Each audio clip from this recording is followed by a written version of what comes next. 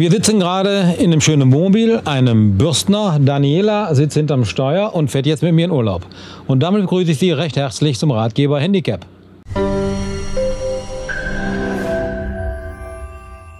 Ich fahre leider nicht mit Daniela in Urlaub, aber die Daniela führt mal vor, wie dieses umgebaute Wohnmobil für Selbstfahrer funktioniert. Wir haben hier rechts ein Handbediengerät für Gas und Bremse sowie auf der linken Seite eine Multifunktionslenkerdrehknauf. Mit dem Handbediengerät gibt man Gas und Bremse. Durch Zug nach hinten gibt man Gas, Druck nach vorne ist die Bremse. Mit dem Multifunktionslenkerdrehknauf kann man die wichtigsten Sekundärfunktionen bedienen, wie den Blinker, die Hupe, den Scheibenwischer und so weiter. Ja, somit ist zum einen das Fahrzeug so umgebaut, dass ein Rollstuhlfahrer selbstständig das Fahrzeug lenken kann, aber man kann in dem Fahrzeug natürlich noch mehr.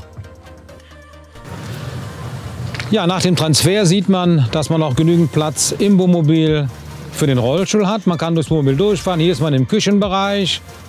Man kann jetzt an den Herd, an die Küche ran. Fährt man weiter durch, kommt man in den Dusch- und Toilettenbereich. Die Toilette kann vom Rollstuhl aus benutzt werden.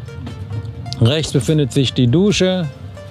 Also so haben wir hier ein Wohnmobil für einen aktiven äh, Rollstuhlfahrer, zum Beispiel mit einer Paraplegie oder einer Hemiplegie.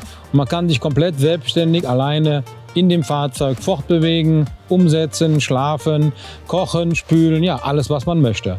Und so fährt man dann bequem nach draußen und verlässt das Wohnmobil.